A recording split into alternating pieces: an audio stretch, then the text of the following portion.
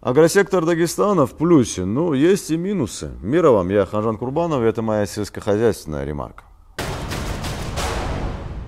Недавно в Министерстве сельского хозяйства и продовольствия республики прошло заседание общественного совета, но было похоже на заседание правительства, так как на нем участвовали вице-премьер правительства, курирующий отрасль Нариман Абдулмуталибов, и министр сельского хозяйства Мухтарби Аджеков, его заместители, начальник отдела кредитования Россельхозбанка, комитет по ветеринарии, фермерское сообщество, Общественная палата республики, СМИ, Вел заседание председатель общественного совета Вагаб Казибеков. Приятно и обнадеживает и то, что общественные силы выходят на новый уровень. Собираемся и обсуждаем то ведь не для галочки, а чтобы понять и прощупать проблемы, назревающие или хронические. Одной из назревающих проблем, готовых вырваться наружу, был порядок получения справок о санитарном благополучии. Как утверждают общественники фермеры, порядках правительства России и федерального Минсельхоза нет того пункта, который был введен на местном уровне. Около 200 товаропроизводителей в прошлом году отказались от субсидий, так как плата за справку покрывает сумму субсидий. Поэтому невыгодно, говорит Вагаб Казибеков. Со слов Дебира Мусаева, председателя независимых профсоюзов фермеров, сообщество объединяет 1300 человек, его коллеги, занимающиеся скотоводством, уже подключились к системе Меркурий. Однако протест животноводов касался только несправедливых, как они полагают, дополнений и взимания 20 рублей за овцу, чего нет в федеральных порядках. Прививку не делали, а брали деньги по умолчанию, взамен выдавая справку о санитарном благополучии, из-за чего мы были готовы выйти на центральную площадь столицы республики, говорит Мусаев. Что за такие интересы есть у ветеринарной службы? Недоумевает он. Но их тогда принял курирующий вице-премьер Нариман Абдулмуталибов, и конфликт удалось разрешить без эксцессов и большого нежелательного для власти резонанса.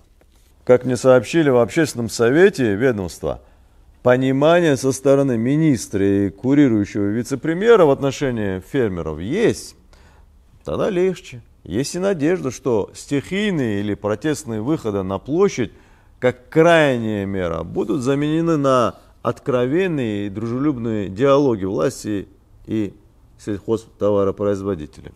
И не по принципу «я начальник, ты дурак», а на равных.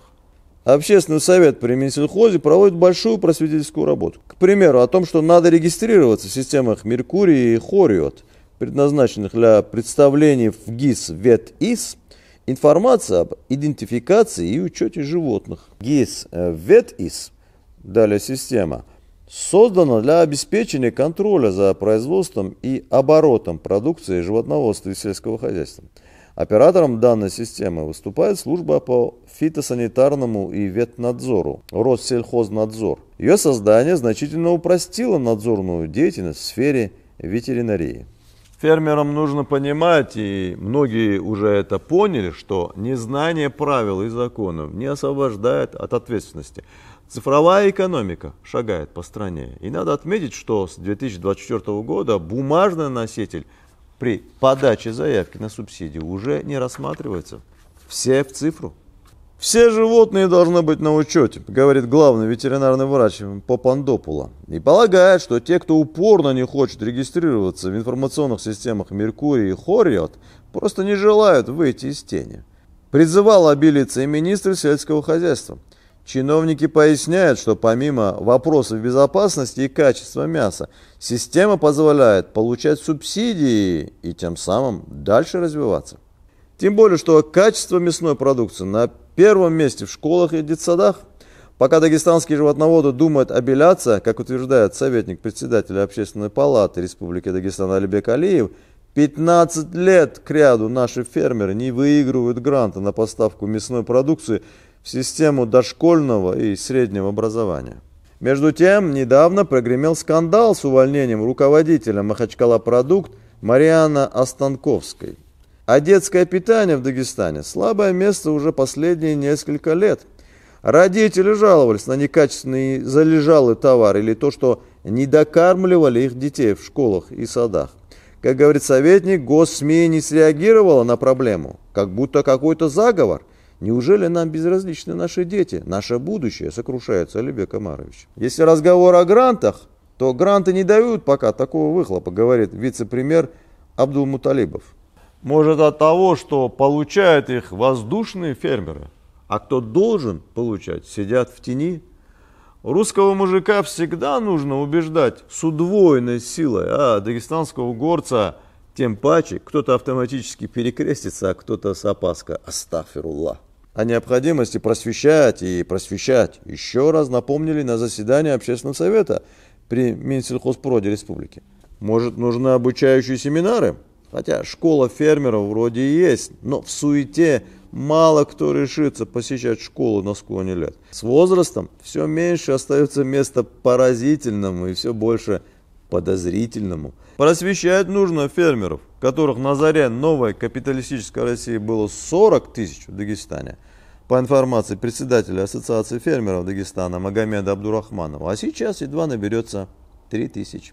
Проблем в сельском хозяйстве, ох, как немало. Но давайте вначале о достижениях. О них в своем выступлении говорил министр, товарищ Аджеков. Садоводство в Дагестане по итогам года вошло в тройку передовых в России. Практически по всем агропоказателям, особенно рису, республика вышла с плюсом, хотя и с небольшим значением прошлого года, но в плюсе. Доля сельского хозяйства в АРП республики 53,8%. Тоже неплохо, значит перевалило за экватор. Прекрасно. Держим планку, не отпускаем. По льготному кредитованию идем вверх по геометрической прогрессии. Посмотрите, растем как на дрожжах. Или лучше, в 2021 году всего 57 миллионов, в 2022 1,1 миллиард, а в 2023 году 2,5 миллиарда рублей кредитов. Инвестиции, вошедшие в сельское хозяйство, дали свой результат. Идет рост пассивных площадей – Получено 449 единиц сельхозтехники. Мы даже 50 миллионов рублей на агротуризм освоили.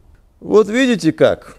Я не монетарист, но факты говорят сами за себя. Напитал деньгами систему, получи результат. Конечно, не все так гладко, но рост есть, и после ряда управленческих решений, просветительских процедур и полного вывода из тени наших братьев-тружеников полей и садов – получим еще лучший результат. Останавливаться нельзя.